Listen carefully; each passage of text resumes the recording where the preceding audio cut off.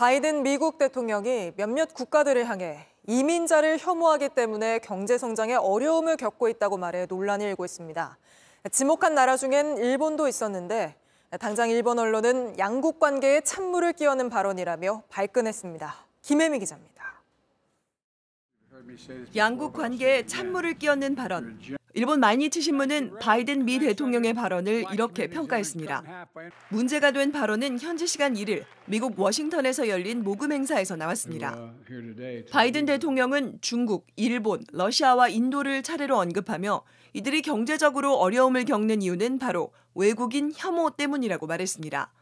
미국을 부강하게 만든 이민자들을 이들은 원치 않는다고도 했습니다.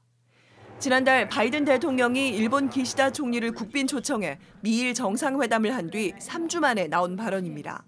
And I sincerely want to thank you, Mr. Prime Minister, for your bold leadership across all these issues. You personally have made all this possible.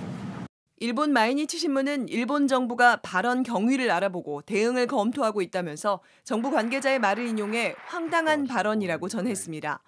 함께 언급된 인도 언론도 불쾌감을 표시했습니다. He thought America is the world. We do not need foreign workers. We already have a large and young workforce.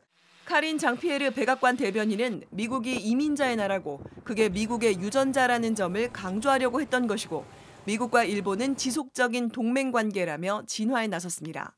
JTBC 김혜미입니다. JTBC 뉴스를 시청해 주셔서 고맙습니다. 저희는 저녁 6시 50분 뉴스룸에서 뵙겠습니다.